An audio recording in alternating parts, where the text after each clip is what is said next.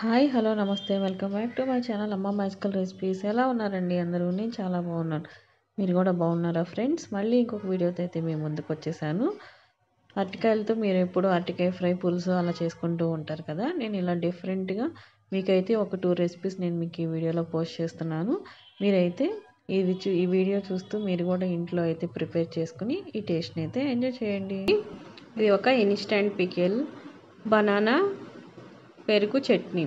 మీరు బనానాతో ఎప్పుడు ఫ్రై చేసుకొని ఉంటారు పులుసు చేసుకొని ఉంటారు ఇలా కూరలు చేసుకుంటూ ఉంటారు కదా. ఇలా ఒకసారి చట్నీ ట్రై చేయండి చాలా బాగుంటుంది. ఇది రైస్లో కానీ దోశల్లో కానీ చాలా బాగుంటుంది. మీరు కూడా ఒకసారి ట్రై చేయండి. నా ఛానల్ ఫస్ట్ టైం చూసినట్లయితే లైక్ చేయండి షేర్ చేయండి సబ్స్క్రైబ్ చేయండి. దీనికోసం కావాల్సినవి ఏంటో చూద్దాం. ఒక అరటికాయ కొంచెం చింతపండు ఒక అరకప్పు పెరుగు పచ్చిమిర్చి ఏమో మీ టేస్ట్కి తగ్గట్టు జీలకర్ర అలానే చిన్నులపాయలు. ఇవన్నీ తీసుకున్న తర్వాత ఇప్పుడు ఒక కుక్కర్ తీసుకుని దాంట్లోకి మనం అరటికాయని ఇలా కట్ చేసుకుని ఫస్ట్ దీన్ని అయితే మనం బాయిల్ చేసుకోవాలి. ఇలా ఒక గ్లాస్ వాటర్ పోసుకుని మూత పెట్టుకోవాలి.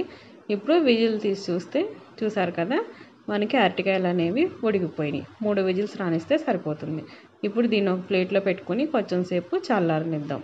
ఇలా చల్లారిన తర్వాత ఇలా పైన స్కిన్ పీల్ చేసేసుకోవాలి. ఇలా మీరు మనం ఆల్రెడీ ఉడకపెట్టాం కాబట్టి ఈజీగానే వచ్చేస్తుంది. ఇలా దీన్ని చిన్న చిన్న ముక్కలుగా కట్ చేసుకొని పెట్టుకోండి. ఇప్పుడు ప్రాసెస్ ఏంటో చూద్దాం.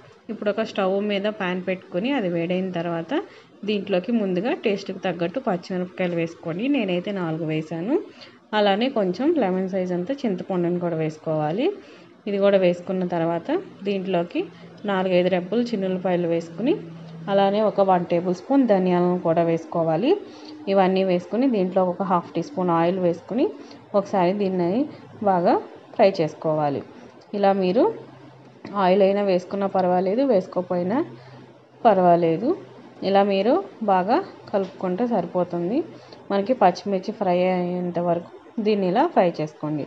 చూసారు కదా ఇలా మనకి వేగిపోతాయి. ఇలా వేగిన తర్వాత దీంట్లోకి ఒక వన్ టేబుల్ స్పూన్ జీలకర్ర అలానే మీ దగ్గర కరివేపాకు అనుకుంటే కరివేపాకు కూడా ఇప్పుడే వేసేసుకోండి. ఇలా అంతా ఒకసారి కలిపేసేసుకుని స్టవ్ ఆఫ్ చేసుకుని దీన్ని కొంచెం సేపు చల్లారనిద్దాం. ఇలా చల్లారిన తర్వాత ఇప్పుడు ఒక మిక్సీ జార్ తీసుకుని దాంట్లో కిందకి మనం ఫ్రై చేసి పెట్టుకున్న పచ్చిమిర్చి ఇవన్నీ కదా అవి వేసుకుని టేస్ట్కి తగ్గట్టు సాల్ట్ కూడా వేసుకుని దీన్ని ఒకసారి గ్రైండ్ చేసుకోవాలి.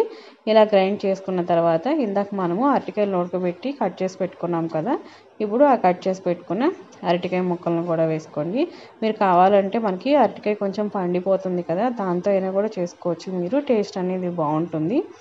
ఇలా అరటికాయలు కూడా వేసుకున్న తర్వాత దీంట్లోనే ఒక అరకప్పు పెరుగును కూడా వేసుకోండి. పెరుగు వేసుకొని చేసుకోండి. చాలా బాగుంటుంది. వేడివేడి అన్నంలో నెయ్యి వేసుకొని తింటే ఇలా మీరు పెరుగు కూడా వేసుకున్నాక గ్రైండ్ చేసుకుంటే చూసారు కదా మనకి టేస్టీ అయిన బనానా చట్నీ అయితే రెడీ అయిపోయింది.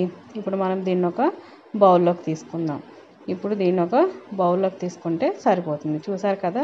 చాలా బాగుంటుందండి. వేడి వేడి అన్నంలో ఒకసారి మీరు కూడా తప్పకుండా ట్రై చేయండి. ఇప్పుడు మనం దీంట్లోకి తిరగమాతను అయితే వేసుకోవాలి.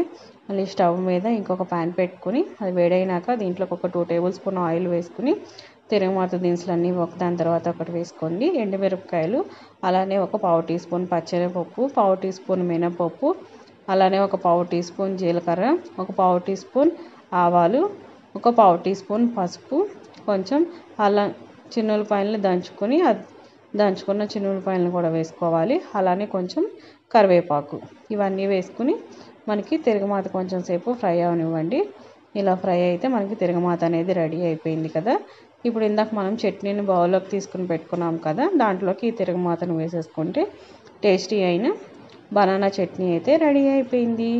వేడి వేడి అన్నంలో వేసుకుని లేదంటే కనుక మీరు ఎప్పుడు దోశల్లోకి కొబ్బరి చట్నీ చేసుకుంటారు కదా అలా కాకుండా ఒకసారి ఇలా బనానా చట్నీతో తినండి చాలా బాగుంటుంది. తప్పకుండా మీరు కూడా ఒకసారి ఇంట్లో అయితే ట్రై చేసి టేస్ట్ని అయితే ఎంజాయ్ చేయండి. చూసారు కదండి పెరుగుతో చేసిన అరటికాయ చట్నీ. ఇది చాలా బాగుందండి రైస్లో కానీ ఇడ్లీలో కానీ. తప్పకుండా మీరైతే ఈ వీడియోని మిస్ కాకుండా చూసి ఇంట్లో కూడా ట్రై చేసి డిఫరెంట్ టేస్ట్గా ఉంది. ఈ టేస్ట్ని అయితే మీరు కూడా ఎంజాయ్ చేయండి. చాలా సింపుల్గా ఈజీగా ఇన్స్టాంట్గా అప్పటికప్పుడు అయిపోతాయి. ఎప్పుడు రొటీన్గా చేసుకునేవి కాకుండా అప్పుడప్పుడు ఇలాంటి డిఫరెంట్ డిఫరెంట్గా చేసుకుంటే చాలా టేస్టీగా ఉంటాయి. తప్పకుండా మీరు కూడా మిస్ కాకుండా ఈ చట్నీ అయితే ఇంట్లో ట్రై చేసి ఈ టేస్ట్ని అయితే ఎంజాయ్ చేయండి. ఇప్పుడు మనం ఫస్ట్ సెకండ్ రెసిపీ ఏంటో చూద్దాం. పచ్చడి చూసాం కదా. ఈరోజు సేమ్ అలానే అరటికాయ టమాటోతో చేసిన చట్నీ అయితే చేసి చూపిస్తున్నాను మీకు. ఇది కూడా చాలా బాగుంటుందండి. వేడివేడి అన్నంలో కానీ దోశల్లో కానీ ఇడ్లీలో కూడా బాగుంటుంది ఇది. తప్పకుండా మీరు కూడా ఒకసారి ఇంట్లో ట్రై చేయండి. మీ దగ్గర పండిపోయిన అరటికాయ కనుక్కుంటే దాంతో కూడా ఇలా ట్రై చేయండి. చాలా బాగుంటుంది. దీనికోసం ఒక అరటికాయ తీసుకున్నాను నేను.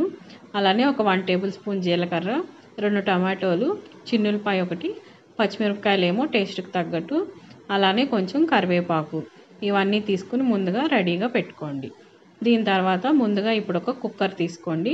కుక్కర్ తీసుకుని అరటికాయలు ఇలా రెండుగా కట్ చేసుకుని ఒక గ్లాస్ వాటర్ పోసుకుని మూత పెట్టి మూడు విజిల్స్ రానివ్వండి.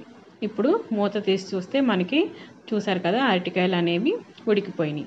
ఇప్పుడు దీంట్లో ఉన్న వాటర్ వంచేసేసి ఒక ప్లేట్లోకి తీసుకుని ఈ అరటికాయలను పక్కన పెట్టుకుని కొంచెం సేపు చల్లారనివ్వండి. ఇలా చల్లారిన తర్వాత ఈ అరటికాయల పైన ఇలా స్కిన్ని పీల్ చేసేసుకోవాలి. ఇలా అరటికాయలని పైన స్కిన్ తీసేసుకుని వీటిని చిన్న చిన్న ముక్కలుగా కట్ చేసుకుని పెట్టుకోండి. ఇప్పుడు ఇలా కట్ చేసుకుని పెట్టుకున్న తర్వాత ప్రాసెస్ ఏంటో చూద్దాం. ఇప్పుడు ఒక స్టవ్ మీద ప్యాన్ పెట్టుకుని దీంట్లో కిందకి రెండు టమాటాలు చూపించాం కదా ఇలా సన్నగా కట్ చేసి పెట్టుకుని ముందుగా ఆ టమాటో ముక్కలు వేసుకుని అలానే నాలుగైదు రెబ్బలు ఉల్లిపాయలు కూడా వేసుకుని పచ్చిమిరపకాయలు ఏమో మీ కారంకి తగ్గట్టు వేసుకోండి. నేనైతే ఒక ఐదు పచ్చిమిరపకాయలు వేసాను అలానే దీంట్లోకి లెమన్ సైజ్ అంతా చింతపండు వేసుకోవాలి. ఇలా అన్నీ వేసుకుని దీంట్లోకి ఒక హాఫ్ టీ స్పూన్ ఆయిల్ వేసుకుని ఒకసారి బాగా కలుపుకోండి. ఇలా కలుపుకున్న తర్వాత మనకి టమాటాలు అనేవి కొంచెం సేపు మగ్గాలి కదా. ఈ టొమాటోల్ని మగ్గేంత వరకు కొంచెం మూత పెట్టుకుని ఈ టొమాటోల్ని మగ్గనివ్వండి. సేమ్ మీరు మీ దగ్గర అరటికాయ కనుక పండిపోతే పడేయకుండా ఒకసారి నేను చూపించినట్టు మీరు పండిపోయిన అరటికాయతో కూడా చేసుకోండి. చాలా బాగుంటుంది. నేనైతే మామూలుగా ఇలా చేసి చూపించాను. నేను పండిపోయిన అరటికాయతో కూడా చేశాను. చాలా బాగుంది. ఇలా మనకి టొమాటోలు అనేవి వేగిపోయినాయి కదా దీంట్లోకి కరివేపాకు వేసుకుని అలానే ఒక వన్ టేబుల్ స్పూన్ జీలకర్ర కూడా వేసుకుని మళ్ళీ ఒకసారి బాగా కలుపుకోండి. కలుపుకున్న తర్వాత స్టవ్ ఆఫ్ చేసేసి దీన్ని కొంచెం సేపు చల్లారనిద్దాం. మీరు జీల జీలకర్ర అనేది లాస్ట్కి వేసుకుంటేనే మనకి చట్నీ టేస్ట్ అనేది బాగుంటుంది. ఇది చల్లారిన తర్వాత ఇప్పుడు ఒక మిక్సీ జార్ తీసుకుని దాంట్లోకి మనము ఫ్రై చేసి పెట్టుకున్న టమాటోలు ఉన్నాయి కదా అవంతా మిక్సీ జార్లో వేసుకుని మనం కట్ చేసి పెట్టుకున్న అరటికాయ ముక్కలు ఉన్నాయి కదా అవి కూడా వేసుకుని టేస్ట్కి తగ్గట్టు సాల్ట్ వేసుకుని మనమే వాటర్ యాడ్ చేయాల్సిన అవసరం లేదు. దీన్ని మనం గ్రైండ్ చేసుకుంటే సరిపోతుంది. చూసారు కదా ఎంతో టేస్టీ అయిన అరటికాయ టమాటో చట్నీ అయితే రెడీ అయిపోయింది. చాలా బాగుందండి. పెరుగు అరటికాయ వేసుకున్నది బాగుంది అలానే ఇది కూడా బాగుంది.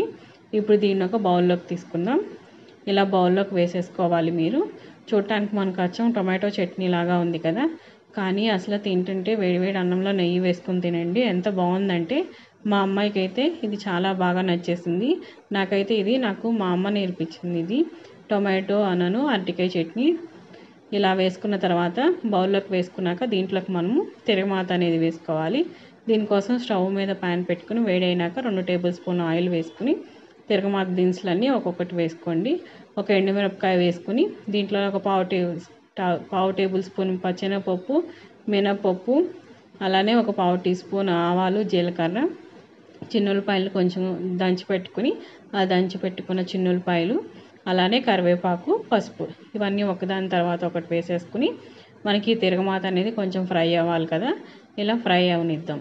ఇలా ఫ్రై అయిన తర్వాత ఇందాక మనము చట్నీని ఒక బౌల్లోకి తీసి పెట్టుకున్నాం కదా ఇప్పుడు ఆ బౌల్లోకి ఈ తిరగమాతనంతటిని వేసేసుకోండి. చాలా అంటే చాలా బాగుంటుంది ఈ చట్నీ. మీరు ఒక్కసారి చేసుకున్నారంటే కనుక మీరు ఈ టేస్ట్ని మర్చిపోరు. పద్దాక ఇదే చేసుకుంటారు మీరు. అలానే మనకి ఇది ఇన్స్టెంట్గా కూడా అయిపోతుంది కదా. తప్పకుండా మీరు కూడా ఒకసారి ఈ చట్నీ అయితే ఇంట్లో ట్రై చేసి ఈ టేస్ట్ని అయితే మీరు కూడా ఎంజాయ్ చేయండి. నేను ఇన్నిసార్లు చెప్తున్నాను కదా ఒకసారి మీరు కూడా తప్పకుండా ట్రై చేయండి. చాలా అంటే చాలా బాగుంటుంది. అలాగే పెరుగుతో చేసిన అరటికాయ పచ్చడి. ఈ రెండింటి కాంబినేషన్లో అయితే చాలా బాగున్నాయండి. మీకు కూడా ఒకసారి ఇంట్లో ట్రై చేయండి మీరే చెప్తారు. రెండు చట్నీలు చాలా బాగున్నాయి అని తప్పకుండా మీరు ఒకసారి ఇంట్లో ట్రై చేసి ఈ టేస్ట్ని అయితే ఎంజాయ్ చేయండి. దోశల్లో కూడా పెట్టుకుని తినండి. చాలా ఎమ్మీగా ఒక దోశ తినేవాళ్ళు ఇంకొక దోశ ఎక్కువగానే తింటారు. అంత టేస్టీగా ఉంటుంది దోశల్లో కూడా. మీరైతే మిస్ కాకుండా దీన్ని అయితే ఇంట్లో ట్రై చేసి ఎంజాయ్ చేయండి. చూసారు కదండి మా వీడియో? మా వీడియో కనుక మీకు నచ్చినట్లయితే లైక్ చేయండి షేర్ చేయండి సబ్స్క్రైబ్ చేయండి. పక్కనే ఉన్న బెల్ క్లిక్ చేస్తే నోటిఫికేషన్స్ అనేవి వస్తాయి.